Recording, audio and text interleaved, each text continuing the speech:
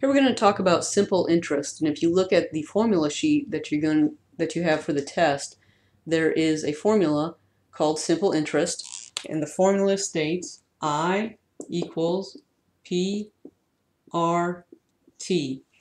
And what this means is interest stands for I equals principal times rate times time. So the interest is the money that you're either earning or losing if you're borrowing.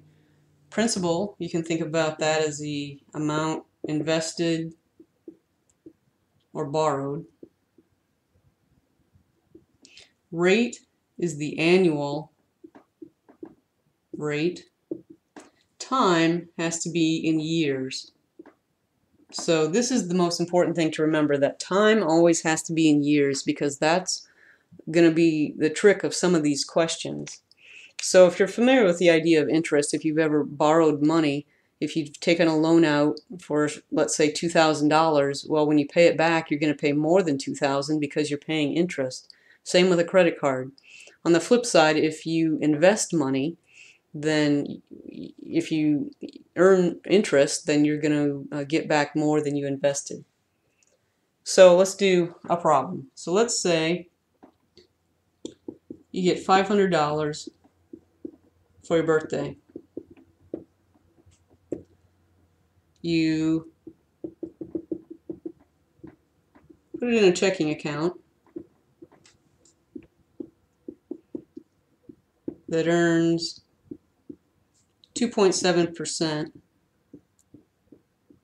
annual interest. If you leave it in there, how much interest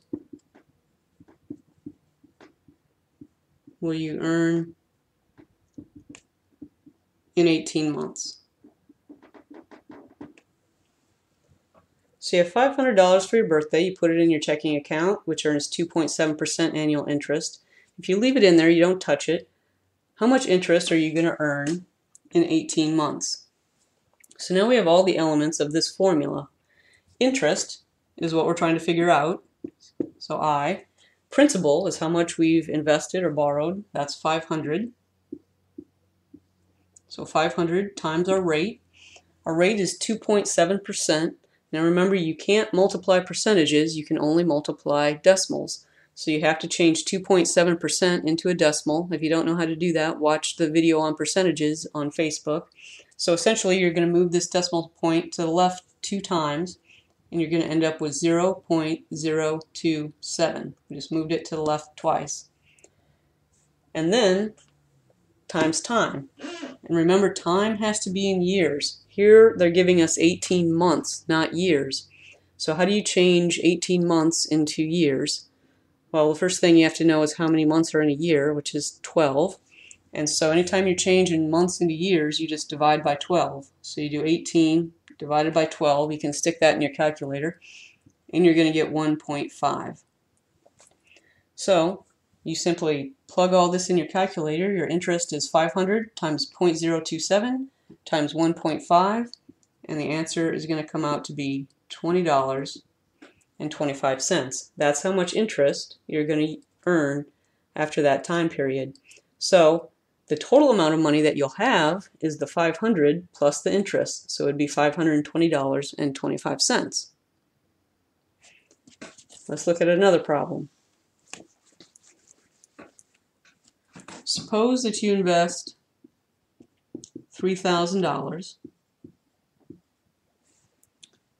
for 24 months. At the end,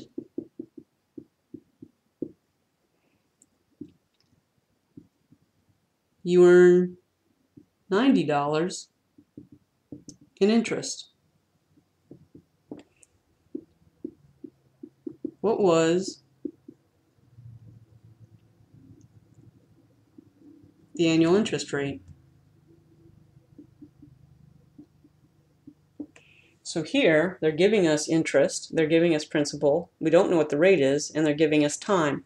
So we set the problem up the same way. Just plug in what you know. So interest was $90. We're earn $90 in interest. That equals principal, which how much was invested? $3,000 times rate, which we don't know. That's what we're trying to figure out. Times time. Again, it has to be in years, not months. So how, much, how many years is 24 months? You do 24 divided by 12, which is 2. So now we have an algebra problem where we're trying to solve for r. That means we're going to get r on one side of the equation, the numbers on the other side of the equation. Well, we can multiply 3,000 times 2, so we have 90 equals 3,000 times 2 is 6,000 times r. We need to get r by itself, so we have r equals something. To get rid of this 6,000, since we're multiplying 6,000 times r, to get rid of it, the opposite of multiplication is division. So we're going to divide by 6,000. If we divide one side of the equation by 6,000, we have to divide the other side of the equation by 6,000. So we're going to go 90 divided by 6,000 equals 6,000 times r divided by 6,000. These two cancel out. 6,000 divided by 6,000 is just 1. So we get 90 divided by 6,000. You plug that into your calculator and you get 0.015 equals R. So now we know R equals 0.015.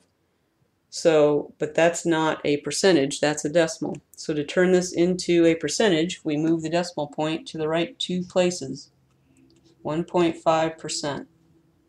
So our rate is 1.5%.